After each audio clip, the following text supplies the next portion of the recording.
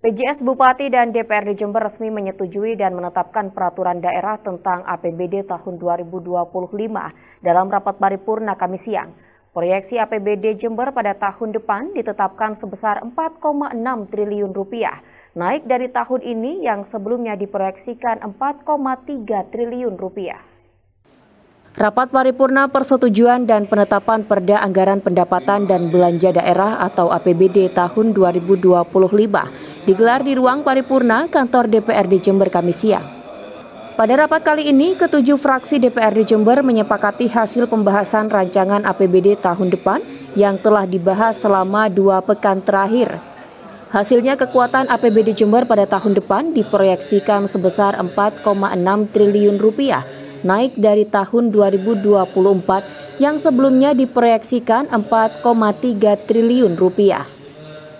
Dari nominal tersebut terdapat defisit anggaran sebesar 371,8 miliar rupiah yang rencananya akan ditutup menggunakan sisa lebih pembiayaan anggaran atau silpa tahun ini, serta target peningkatan pendapatan asli daerah tahun depan.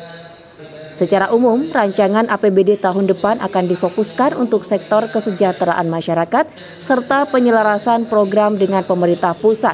Salah satunya makan siang gratis dengan nominal yang disiapkan sebesar 5 miliar rupiah. Imam Hidayat PJS Bupati bersama empat pimpinan DPRD Jember pun mengesahkan perda wajib dengan prosesi penandatanganan bersama.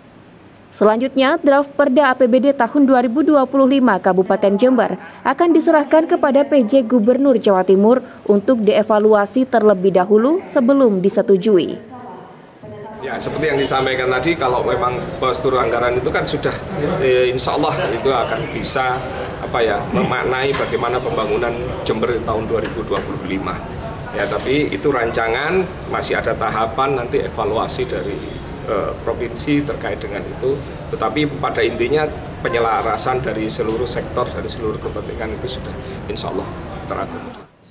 Pada kesempatan ini, PJS Bupati Imam Hidayat dalam pendapat akhirnya juga berpamitan kepada seluruh pejabat daerah, anggota dewan, dan masyarakat Jember. Hal itu menyusul sisa masa jabatan Imam Hidayat sebagai PJS Bupati Jember yang akan berakhir pada 23 November 2024 dan selanjutnya posisinya akan dijabat kembali oleh Hendi Siswanto sebagai Bupati Jember definitif mulai Senin 25 November 2024 mendatang. Ana Sidayat, FTV Jember, melaporkan.